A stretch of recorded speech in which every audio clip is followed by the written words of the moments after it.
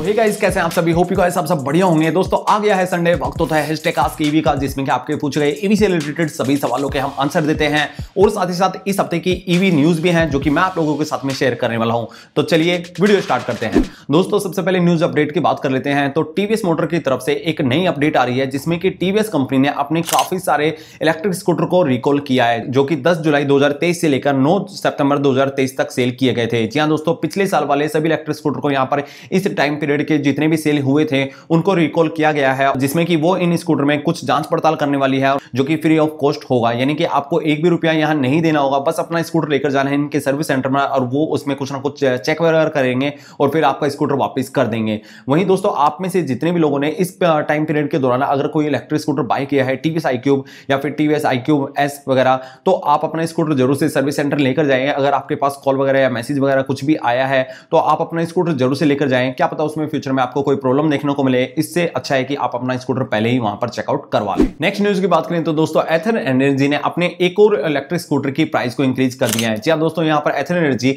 पिछले काफ़ी टाइम से आप देख ही रहे हैं कि ये सेल के मामले में फोर्थ नंबर की पोजिशन पर आ गई है, जबकि ये थर्ड नंबर पर हुआ करती थी बट सेल के मामले में ये धीरे धीरे कर नीचे जा रही है, जिसका सबसे बड़ा कारण है इनके इलेक्ट्रिक स्कूटर की ओवर प्राइस और अब इन्होंने अपने Ather four fifty Apex model की प्राइस को बढ़ा दिया है। आज से पहले ये electric scooter one lakh eighty lakh rupees के प्राइस में मिल रहा था, लेकिन अब इसकी कीमत बढ़कर 1.95 लाख रुपीस हो गई है। तो यहाँ पर सीधे सीधे कंपनी ने सिक्स थाउज़ेंड रुपीज़ को इंक्रीज कर दिया है, जो कि मेरे अकॉर्डिंग काफ़ी ओवर प्राइस हो गया है, और भी ज़्यादा ये इलेक्ट्रिक स्कूटर क्योंकि इतनी प्राइस में कोई भी इलेक्ट्रिक स्कूटर बाय नहीं करने वाला, और ये दो लाख रुपए से ऊपर का स्कूटर बन गया है। इसमें सब्सिडी वगैरह भी आपको देखने को नहीं मिलेगी। नेक्स्ट न्यूज़ की बात करें तो दोस्तों एम्पियर कंपनी ने अभी लास्ट मंथ ही अपना एम्पियर नेक्सेस इलेक्ट्रिक स्कूटर को लॉन्च किया था, और ये इलेक्ट्रिक स्कूटर की जो डिलीवरी है, वो अब कंपनी ने स्टार्ट कर दी है।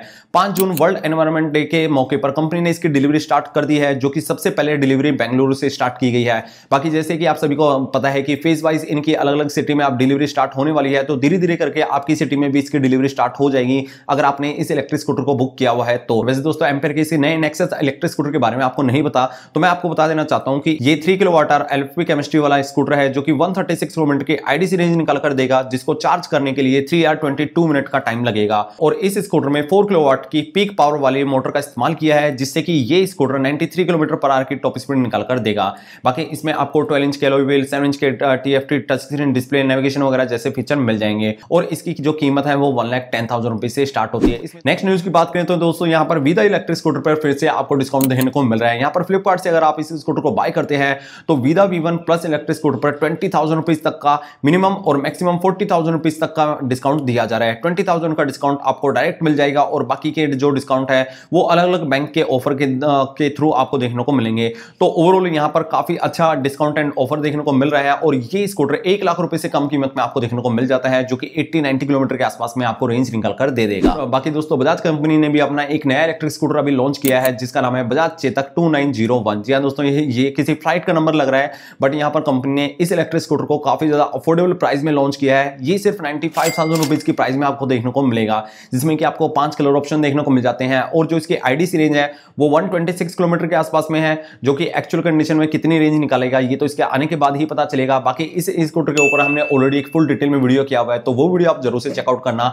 वो लिंक आपको ऊपर कार्ड में या फिर नीचे डिस्क्रिप्शन में मिल जाएगा। तो ये तो होगी दोस्तों इस हफ़्ते की आपकी ईवी न्यूज़ नाउ अब आ जाते हैं आपके पूछे गए ईवी से रिलेटेड सभी सवालों पर। तो सबसे पहले यहाँ पर कमेंट ले लेते हैं। यहाँ पर हरिदर्शन पूछते हैं, मैंने स्कूटर हाइपर में सेवेंटी किलोमीटर चलाया reduce performance can't switch mode आ गया है नॉर्मल मोड पे, फिर कोई मोड ही चेंज नहीं हो रहा है। तो भाई दोस्तों, यहाँ पर अपना कोई भी इलेक्ट्रिक स्कूटर हुआ, वो हाइपर मोड या फिर स्पोर्ट मोड में आप कंटिन्यूस चलाएँगे काफ़ी देर तक और स्पेशली ओला के साथ में ये कंडीशन ज़्यादा है कि ज़्यादा देर तक आप हाइपर मोड में या फिर स्पोर्ट मोड में नहीं चला सकते और जिस हिसाब से अभी वेदर हो रखा है आसपास का या इंडिया का, उस हिसाब से स्पोर्ट मोड में और हाइपर मोड में आप अगर आप अपना स्कूटर ना चलाएँ तो ज़्यादा बेटर है। उसके बाद में जो आपका मोड स्विच करने वाला जो है ना, वो यहाँ पर अटक जाएगा। कई बार तो ये इको मोड पर ही अटक जाता है। तो जब तक आपका स्कूटर ठंडा नहीं होगा मोटर और बैटरी का टेम्परेचर डाउन नहीं होगा, जब तक ये स्विच नहीं होगा और फिर शायद से आपको कस्टमर केयर पर भी कॉल करना पड़ सकता है, क्योंकि मोड ना फिर स्विच नहीं होता है और वो वहाँ पर अटक जाता है। तो ये प्रॉब्लम ओला स्कूटर में अभी देखने को मिल रही है। नेक्स्ट कमेंट ले लेते हैं। यहाँ पर पूछा है, सर, मेरा अभी तक मूव एस नहीं मिला है। तो भाई ऐसे काफ़ी सारे लोग हैं जिनको अभी तक मूव एस नहीं मिला है। तो अगर आपको नहीं मिला है ना तो भाई आप सर्विस सेंटर जाओ, अपने स्कूटर को दिखाओ। आपके स्कूटर में वो मूव एस का अपडेट दे देंगे या फिर किसी भी तरीके से वो उसमें मूव एस इंस्टॉल कर देंगे या फिर आप कस्टमर केयर से एक बार बात करो प्रॉपर तरीके से कि मुझे मूव एस स्कोर अभी तक नहीं मिला है। क्या प्रॉब्लम है? कौन से बैच का आपका इलेक्ट्रिक स्कूटर था? तो ये सब चीज़ें आप एक बार क्लियर करो। कस्टमर केयर पर ये ज़रूर से आपका मोबाइल फोर मिल जाएगा। नेक्स्ट यहाँ पर एक कमेंट लेते हैं। जो ओलो स्कूटर की जो फायर इंसिडेंट हमें देखने को मिला था ना, उसके ऊपर यहाँ पर कमेंट दिया है भाई ने।